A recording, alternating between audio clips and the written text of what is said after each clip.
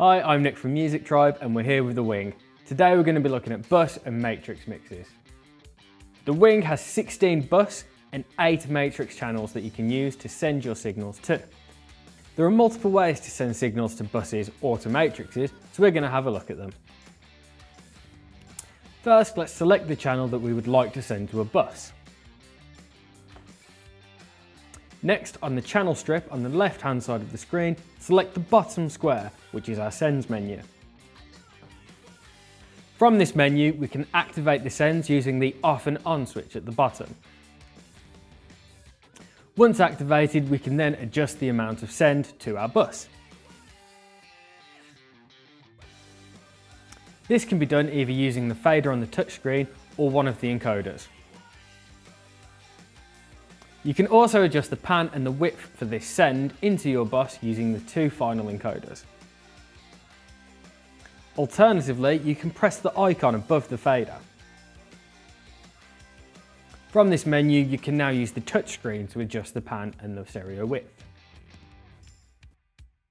Alternatively for the panning, in the bottom right corner is the pan settings. You can have this set to individual where you can determine the panning or link to channel when using link to channel, the panning for the send will copy the panning for the channel. In the top left corner is the mode link option where you can have link to bus or individual. This will allow you to determine whether the bus and the send are pre-fade, post-fade or as a subgroup. Link to bus will determine this by looking at the actual settings for the bus. Individual will let you configure this individually. Pre-fade and post-fade will allow you to control how much of your channel is sent and the pan. With a subgroup, this is predetermined and cannot be adjusted. There are also two options for the send mute in the top right hand corner, follow mute and always on. When set to follow mute and you press the mute button, this will stop any signal being sent to the bus. When set to always on and you press the mute button, this will not change the send, meaning that signal will still flow through to the bus. If we press the done button in our top right hand corner, this will return us to our sends menu. In the top left hand corner, we can adjust the tap point. It is worth noting that the layout for these tap points is the same as our channel strip. If we rearrange our channel strip, the tap points will move.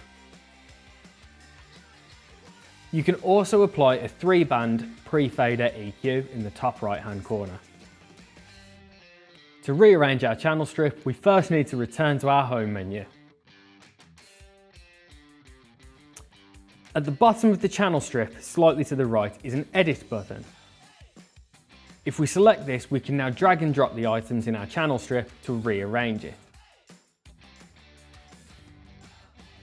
Another way to send our signal is the sends on faders option.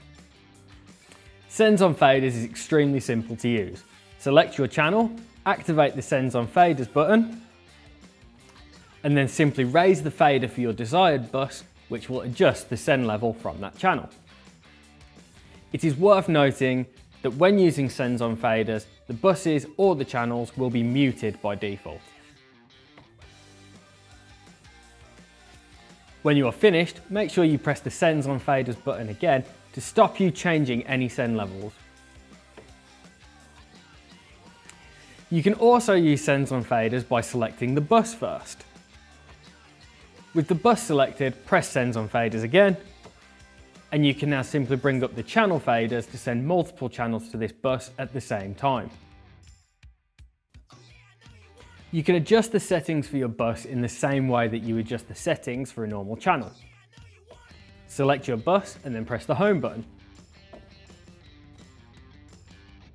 From here you can now adjust the digital trim, the width and the panning. For more information on setting up the channel, please see our previous videos. The Wing also has 8 matrix buses available. The best way to think about a matrix is a bus of a bus. The process to send a bus to a matrix is exactly the same as sending a channel to a bus. You can either select the bus and then use the sends menu, or you can use the sends on fader option.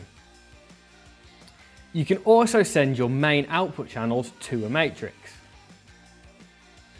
The matrix channels work in the same way as the bus channels, where you can add compression, EQ and effects. You can also delay the output of a matrix and read this in meters, milliseconds and feet. The one difference on the matrix to a bus is that you can have two direct channel inputs. To assign these, go to the channel settings menu. As you would with setting a normal input for a channel, you can do that with the direct inputs. Ensure that you have the direct input activated when you do this. You can also adjust whether this is sent to your matrix via pre or post fader. Once the fader is raised, you'll be able to see your direct signal going into the matrix on your meters. The final thing to do for any monitor buses that you've set up or matrix buses that you've set up is to route them to an output if you wish. For more information on this, see our setting your outputs video. And that's it, we've now set up our mix buses and our matrix buses. In our next video, we'll be looking at DCAs and mute groups. Thanks again.